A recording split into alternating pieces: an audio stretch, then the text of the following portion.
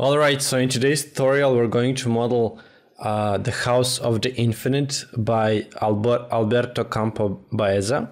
This uh, project is located in Spain, in Cadiz, and uh, uh, this is one of my favorite architects. He was uh, actually giving a lecture at my faculty while I was studying, and he was basically describing this project and uh, talking about it and how he actually wants to connect the horizon and uh, the vast uh, distance with the house itself.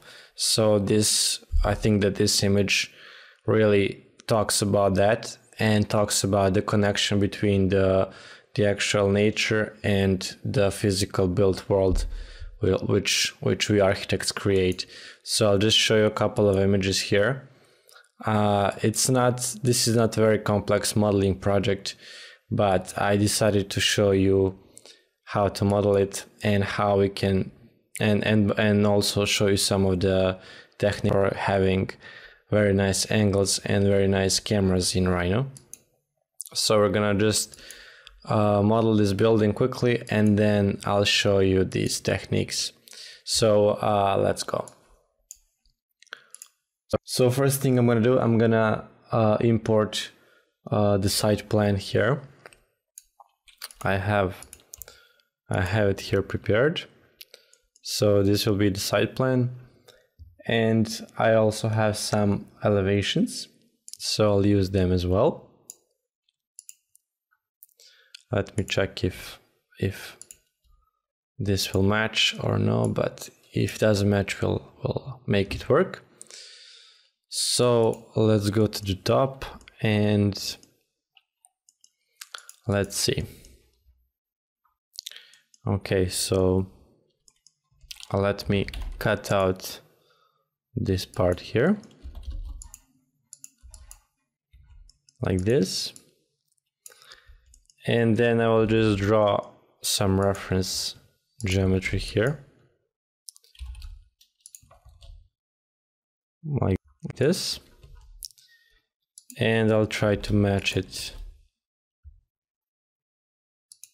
like so uh, then I'm gonna do the scale from here let me see Okay, so the end of the house is somewhere around there.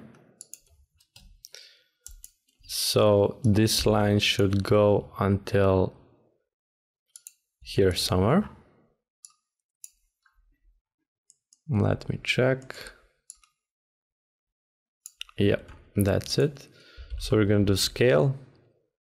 We're gonna go we're gonna go from here to here and then bring it back like this. And now we have the same the same distance here. Okay. So we can also cut it out. Not. Um, scaling it down and let's scale it like this. Okay. So now we have these guys ready let's move them here in the position and let's rotate them okay so um, basically I'm gonna draw a rectangle on top. And I'm gonna draw a couple of more rectangles. That will be these uh, these walls here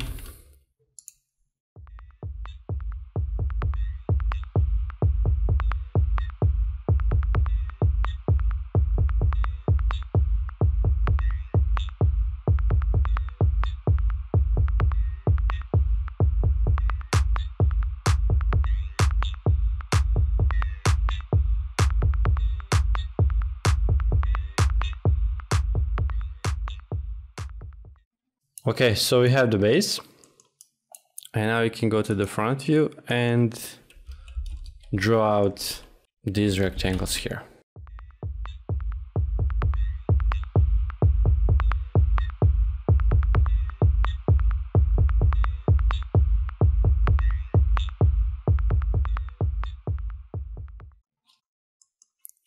Okay, and now let's start extruding.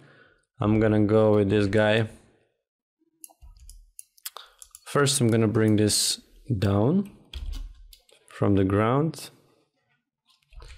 Let's do for everything this and this. So let's bring it down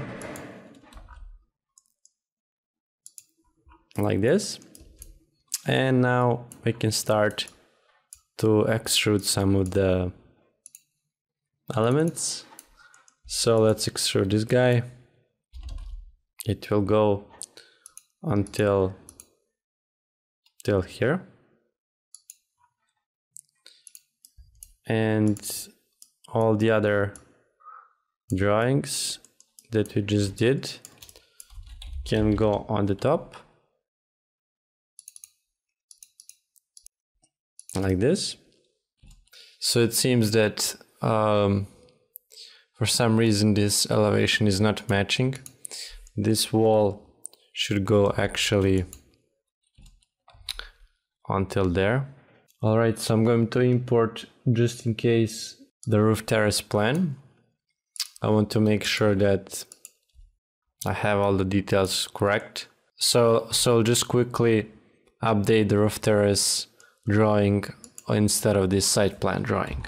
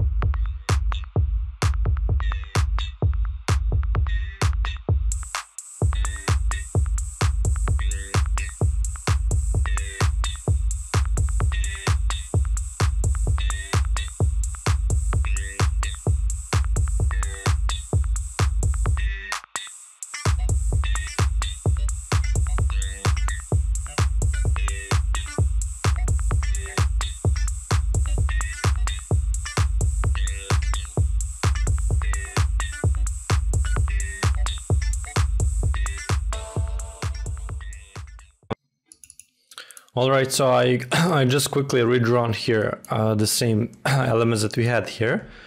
So we're just going to extrude it now. And let's unlock everything else. Uh, we don't need these guys anymore. And uh, we don't need this one anymore also. So this will be uh, this will be the extrusion. So I'm just gonna bring this guy up a little bit like so. And this way I know for sure what's uh, what's the relation going to be. So let's uh, let's bring these guys up. Set point Z and bring them here. All right. So right now I'm just going to use curve boolean here to get these walls like this. Let's bring them up again. And let's extrude them till there. And as you can see this this uh, last ones are a little bit different. So what we can do with them is we can cut them here here and here so we're going to use these curves and we're going to extrude them down and say boolean split. And now we have this guy here that we can bring down. So we can have it there. And we can delete the rest and let's bring these two down, these two up as well. And that would be pretty much it. And of course we can just boolean difference these guys. And also create the, the stairs. So I'm gonna boolean difference the stairs as well. So What I wanted to show you here actually is how you can uh, okay, before doing that, let's just also do the uh, do the the windows here. Let's cap them and let's move them in.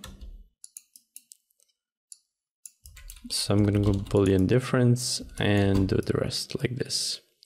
So I will do a lot of a little bit of detailing later. I just wanted to show you one command now in Rhino, which is really cool. If you want to get this nice nice shots, nice effects, if you want to have uh, for example on this first image, if you want to have exactly straight line for a camera, you can do this by doing the following.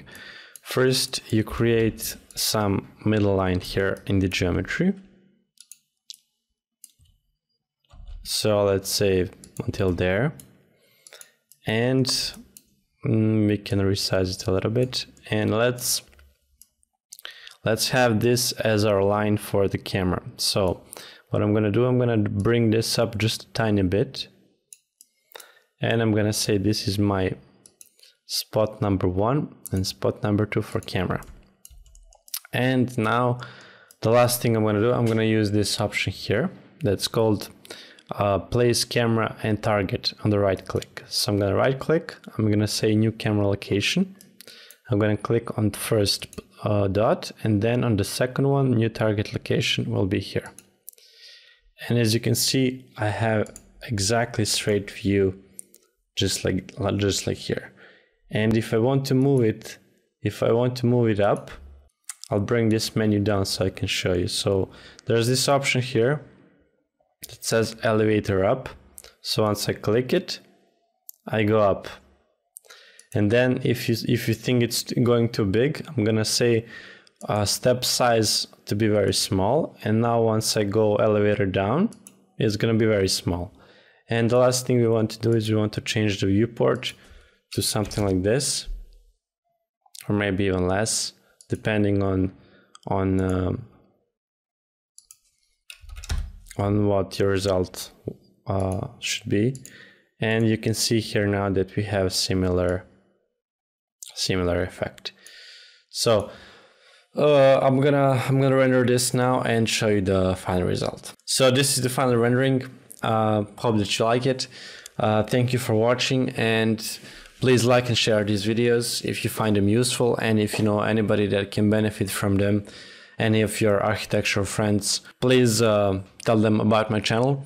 And as always, uh, take care and see you in the next one.